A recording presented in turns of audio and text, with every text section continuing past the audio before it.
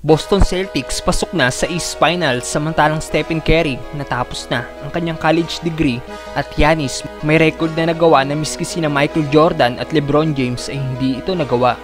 Halina't pag-usapan natin yan mga brother pero kung bago ka lang sa channel eh huwag niyo pong kakalimutan mag-subscribe for more NBA videos. Salamat po!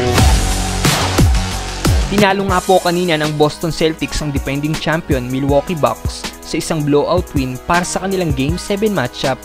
Abante na sila sa East Finals kung saan makakaharap nila ang Miami Heat. First quarter, naging mabagal ang simula ng Celtics pero pagdating ng second quarter, dito na nagsimulang umarangkada ang Boston at di na pinahabol pang Bucks. Nanguna nga po para sa Celtics ang forward nilang si Grant Williams na nagtala ng 27 points. Sinundan ito ni Jason Tatum ng 23 points, 6 rebounds at 8 assists. 19 points at 8 rebounds naman para kay Jalen Brown. Samantalang sa Bucks naman ay nanguna si Yanis na nagtala ng 25 points, 20 rebounds at 9 assists.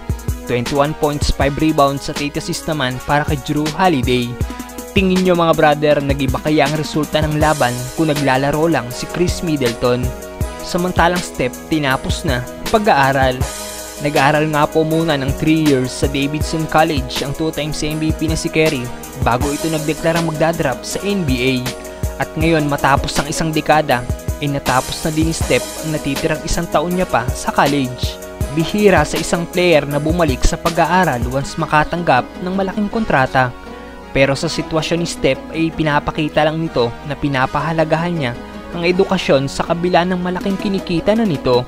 Lodi din talaga si Step mga brother at para sa ating huling update, Yanis may record na nagawa.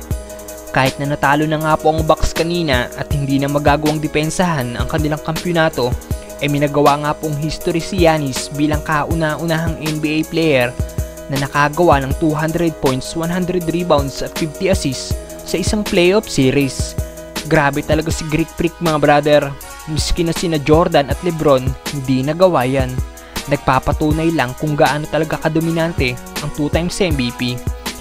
Bata pa naman si Yanis dahil ito ay 27 pa lang kaya naman maraming taon pa natin itong makikitang magdodomina sa liga.